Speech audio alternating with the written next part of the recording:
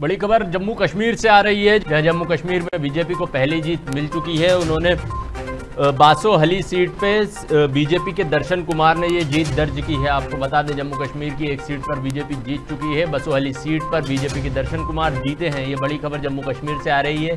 चुनाव आयोग के आंकड़ों के मुताबिक कांग्रेस के लाल सिंह को सोलह वोटों से उन्होंने हराया है।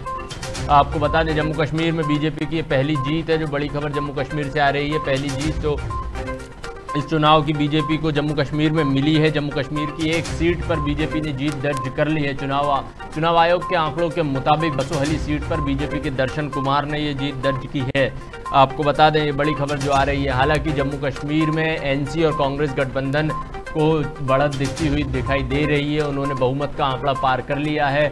एनसी और कांग्रेस गठबंधन बावन सीटों पर आगे चल रहा है। हालाँकि ये सिर्फ़ रुझान है अभी और पहली जीत जो है जम्मू कश्मीर की एक सीट पर बीजेपी को मिल गई आपको बता दें, बड़ी खबर जो आ रही है, जम्मू कश्मीर में बीजेपी 27 सीटों पर आगे चल रही है, पीडीपी दो सीटों पर है और अन्य नौ सीटों पर आगे चल रहे हैं। आपको बता दें 90 की 90 सीटों पर ये जो रुझान सामने आ रहे हैं, इसमें जम्मू कश्मीर में एनसी और कांग्रेस गठबंधन बावन सीटों पर आगे चल रहा है।